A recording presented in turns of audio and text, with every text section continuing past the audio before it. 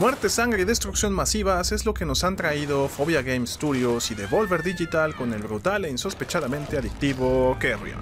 Con una estética pixelada pero extremadamente rica en detalles, luces y colores, Carrion nos sumerge en una gigantesca instalación científica subterránea en donde el horror se ha desatado.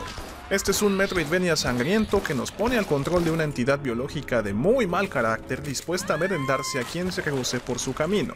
Apelando a unos controles muy bien diseñados, fluidos y precisos, Carrion apuesta por la acción desenfrenada de la carnicería, aderezándola con mecánicas de sigilo, acertijos y exploración.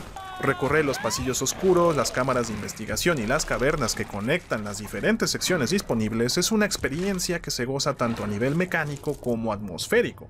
Fiel al género que le da vida, tenemos a disposición una serie de mejoras y habilidades que nos permitirán acceder a zonas antes bloqueadas y que aumentarán nuestras posibilidades de supervivencia. Pues si bien controlamos a una bestia en apariencia imparable, sí que somos vulnerables a no pocas contramedidas implementadas por los desesperados sobrevivientes. Los niveles están diseñados para obligarnos a improvisar y aunque podamos llegar a ser una masa colosal sanguinolenta, lo cierto es que no podemos abusar de un estilo de juego y deberemos alternadamente optar por el asesinato silente y las masacres espectaculares. El acceso a diversas zonas quedan marcado en la mecánica del tamaño de la bestia y las trampas y defensas están dispuestas de un modo que equilibran las acciones. Somos poderosos sí, pero no inmortales.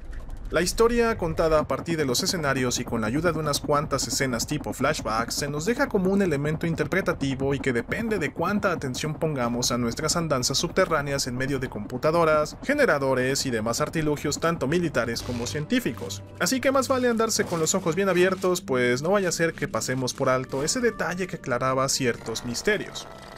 El aspecto sonoro, por otro lado, no deja nada que desear y acompaña con perfecta sincronía las matanzas, explosiones, disparos y demás efectos producto de nuestra interacción dentro de la base, realzando con ello la implacable brutalidad de la bestia y su insaciable apetito.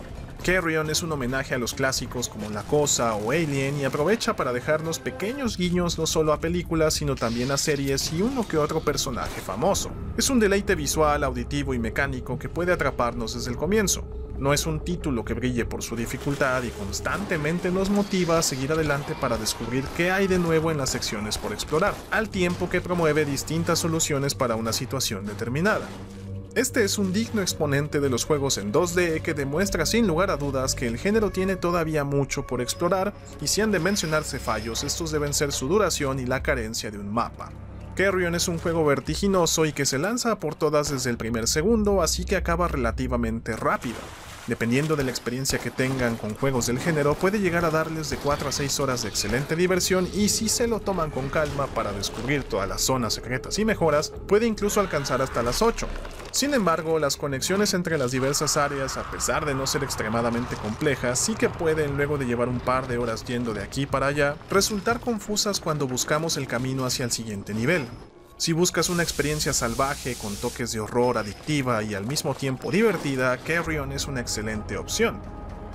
No te olvides de dejar tu like y suscribirte al canal si no lo has hecho. Deja tus sugerencias o ideas en la caja de comentarios y síguenos en nuestras redes sociales.